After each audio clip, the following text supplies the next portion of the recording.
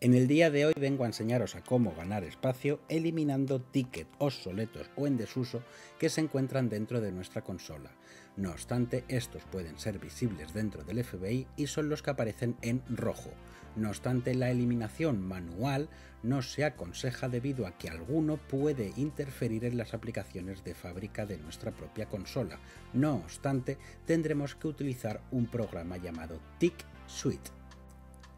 Así pues, como siempre, el primer paso que deberéis de realizar será la descarga del archivo TIC Suite que encontraréis en el comentario fijado de este mismo vídeo. Una vez hayamos descargado el archivo, el segundo paso será introducir nuestra tarjeta SD en el ordenador y, dentro de la carpeta CIAS, introduciremos el archivo TIC Suite.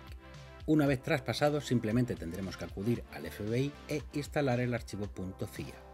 Una vez en la consola y dentro del FBI, acudiremos a la opción de tarjeta SD. Iremos al directorio CIAS e instalaremos el archivo ticsuite.cia.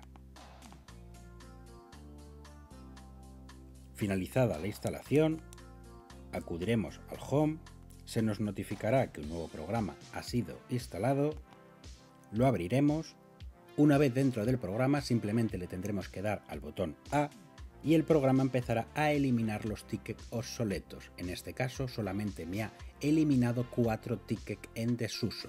Así pues, le daré a cualquier botón para salir. Y si ahora mismo me voy al FBI, me voy a las opciones de ticket, observaré cómo los tickets que antes aparecían en rojo ya no se encuentran en mi consola, con lo cual he ganado espacio dentro de su sistema. Y con estos sencillos pasos chicos de descargamos el archivo, lo metemos en la tarjeta SD, lo instalamos y lo ejecutamos, habremos eliminado los tickets obsoletos de nuestra consola y por supuesto habremos ganado espacio en ella. Y por mi parte nada más chicos, ya sabéis que cualquier duda, sugerencia o un buen te amo quelonio siempre podéis dejármelo en los comentarios y por supuesto que siempre vais a tener el servicio técnico de la presa a vuestra disposición.